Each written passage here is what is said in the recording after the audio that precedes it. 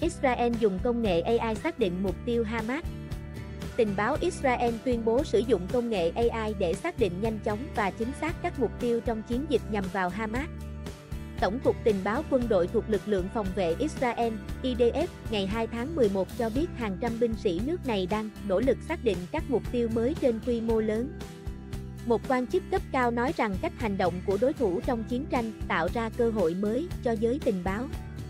Theo IDF, tình báo quân đội Israel đang sử dụng công nghệ trí tuệ nhân tạo AI và các công cụ tự động hóa để xác định nhanh chóng và chính xác các mục tiêu tin cậy.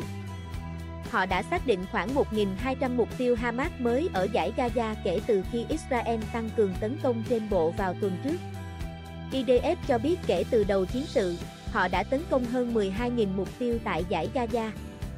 Sĩ quan tình báo cấp cao Israel tiết lộ nhiều công cụ mới lần đầu được IDF dùng để cung cấp cho lực lượng mặt đất thông tin cập nhật ngay lập tức về các mục tiêu.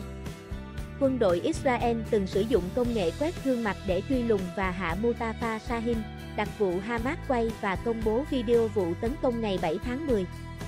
IDF khi đó cho biết sẽ lấy video từ Internet và dùng công nghệ nhận dạng gương mặt xác định những người tham gia vụ tấn công để truy lùng họ.